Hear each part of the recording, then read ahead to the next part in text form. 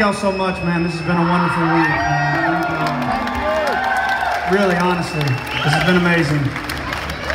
Go see Brian Wilson and Pet Sounds, because that's going to be fucking awesome, all right?